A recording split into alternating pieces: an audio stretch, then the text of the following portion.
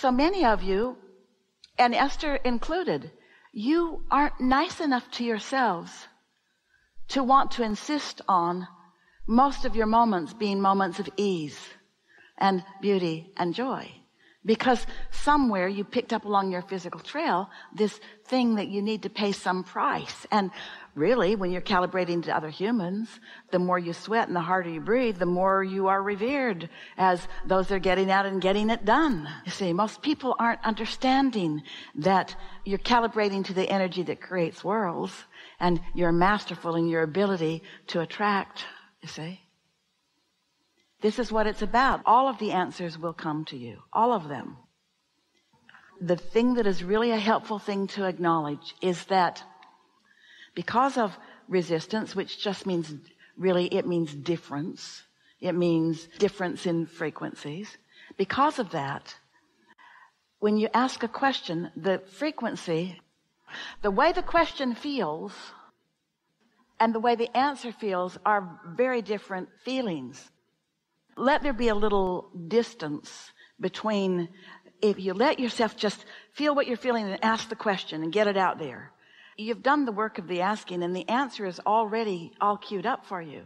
And then at a time when you are less resistant, you can allow the solution or the answer to come. The frequency of the question and the frequency of the answer, big difference. The frequency of a problem and the frequency of a solution, big difference. And so if you don't expect the answer in the moment of expressing the problem, that's why people feel like their prayers aren't being answered. And we say, pray prayers of appreciation. That puts you right in the receiving mode of everything that you've ever been asking for. It almost doesn't matter what you believe. Here we go again. A belief is a thought that you keep thinking. When you believe that you can't have something that you want, then you can't. Not right now. Not while the belief is that you can't. And so you've got to soothe that belief, that frequency, that emotion into something that feels better. It's not something to see. It's something to feel. And it doesn't matter what it is. You only have to know when it's there. And it's there every time you feel anything from the lower half of the emotional scale. Boredom, resistance, pessimism even more, frustration even more, overwhelmment even more, disappointment even more, doubt, all the way down to fear, grief, depression. And so that's how you know. So that's your indicator of what's in the way. And it doesn't matter what it is. You don't have to find out what the culprit is that caused one of those emotions and wrestle it to the ground and kill it. You don't have to figure out what it is and then go to therapy and see if you can get rid of it. You just have to find a matching thought to something that is optimistic. You're just looking for existing matches to the upper half of the scale and that automatically takes you out of focus with whatever it was and it doesn't ever matter if you ever understand what it was. Because as you soothe yourself, then you match different things. It's easier than you thought, isn't it? Does that make sense to you? Humans are so, we love you so much. You want to be so precise. You want to be able to explain yourself to everybody and you want to be able to explain, well, I figured out what was wrong and it was this and this and this. And the whole time you're explaining it, you're calibrated to it. So you're holding yourself in that frequency.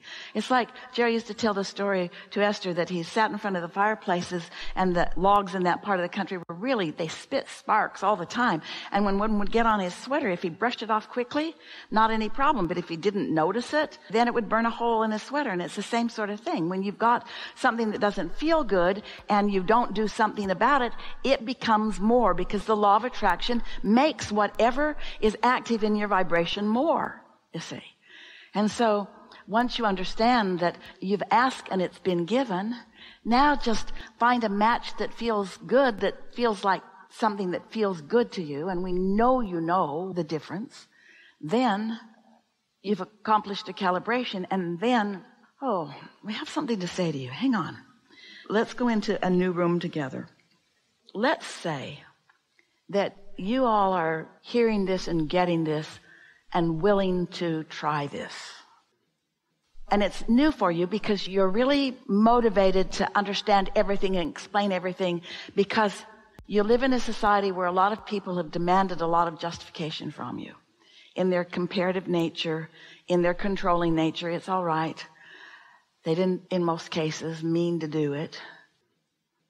So you are willing to try this game. It's a priceless, valuable game where you're just going to realize when you're having a negative emotion. And so you get better and better at honoring your own requests. You see, here's the new room that we wanted to walk in with all of you together. So you feel the negative emotion. That's all that matters. You're aware that you're feeling some uneasiness. It's in early subtle stages. It hasn't reached the place that there's some disastrous culmination. You're just feeling some uneasiness and you don't like it. And you like yourself enough to want to grant yourself easiness rather than uneasiness. So rather than trying to figure out what is it that I'm feeling uneasy about, you don't have to do that. You just have to find something that you are easy about.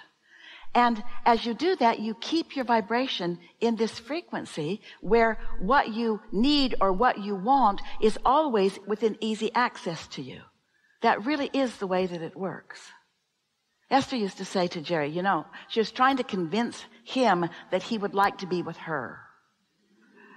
So she sang, Evita, I'd be surprisingly good for you. She sang, get on the bus, Gus. And one of the things that she said that she thought would really appeal to him is, I shine in a crisis. Well, that's valiant. There should be statues for people that do that, right? we explained to her once she started listening to us that the reason she shines in a crisis is because the crisis causes her to focus. And what we're asking you to do is focus pre-crisis. Focus at softer, more subtle.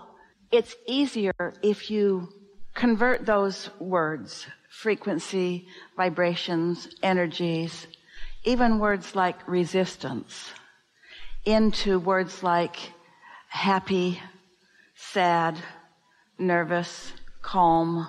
In other words, your emotions are your vibrational indicators. Your emotions are your guidance system, and without them, you cannot calibrate. So, this conversation matters. So, do you know the difference between being worried and at ease about something? The nice thing about emotions, words don't really teach. And so, we can say a lot of words but the beautiful thing about emotions are that you can feel the difference. In other words, Esther knows when she's calm and she knows when she's agitated, don't you? When you're calm, you're in the allowing mode. When you're agitated, you're not. When you're happy, you're in the allowing mode. When you're mad at somebody, you're not. You are more than this physical apparatus.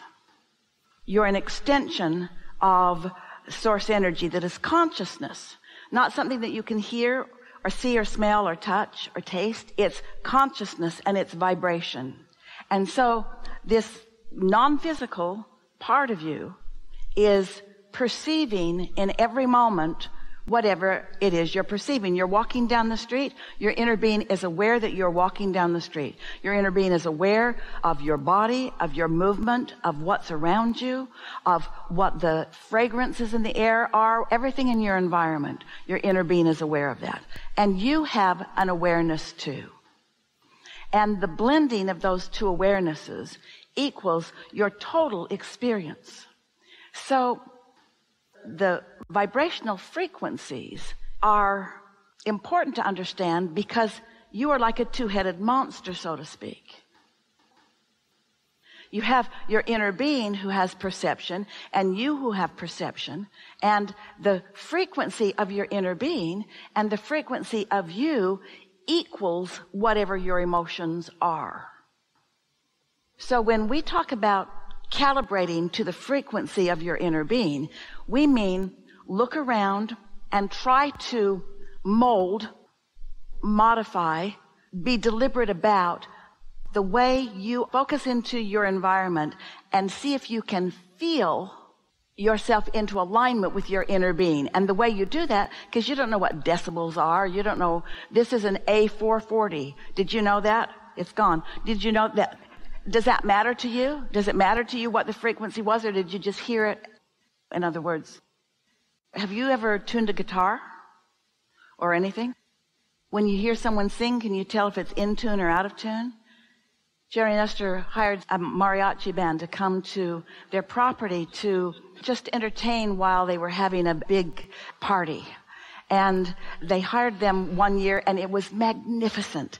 It thrilled you. The sound of the horns, it thrilled you. And the following year they hired the same group, the group that came from a high school, but all of the really good musicians had graduated and now new musicians had come into the mix and there was one very eager trumpeter who was not on key at all. And so Jerry's walking around with his burritos and his beans and his rice, and he comes over to Esther and he says, you got to get that horn away from that kid. because he was not in tune. He was not calibrated. It was really uncomfortable, like negative emotion is uncomfortable. It was really uncomfortable. And so Esther said to him, would you like a burrito? And he said, I think I'm supposed to be playing. And, and Esther said, my husband is insisting that you come with him and have a burrito. And so he went and had a burrito and then everything was so much better because the discordant thing was not in the mix of it, you see? And so it's like that. You can hear when something's out of whack and negative emotion means something's out of whack, out of calibration with who you really are and all that you've evolved to, to the pure positive being that you are and everything that your life experience in your physical body has brought you to become. What is the frequency of love? What is the frequency of hate? Well, what difference does it make what the frequency is? Don't you know the difference? What is the frequency of gardenia? Because it is a frequency that you are translating into the fragrance of gardenia. What is the frequency of smooth texture or rough texture? What's the frequency of that? Does it matter? Rough, smooth, rough, smooth. Does it matter? Aligned, not aligned. Allowing, not allowing. Yeah? So let's just recap here just a little bit. So how was that for you?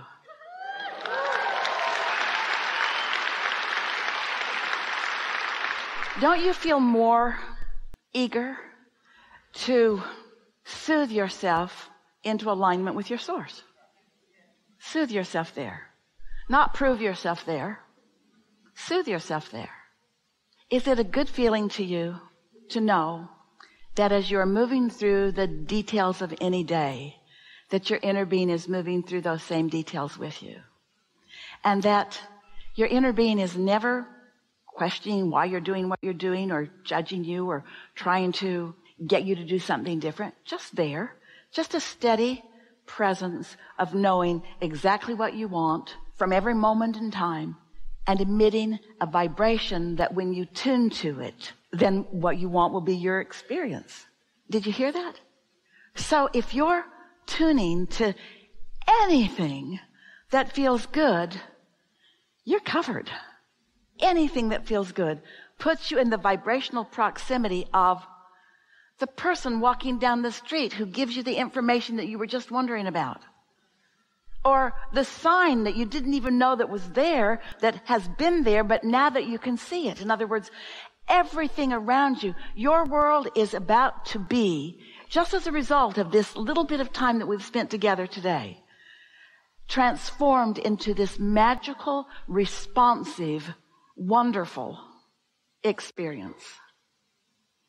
But you got to know how it works and you got to love yourself into letting yourself experience it. And don't try too hard to explain it to others, except through the clarity of your example. Yeah.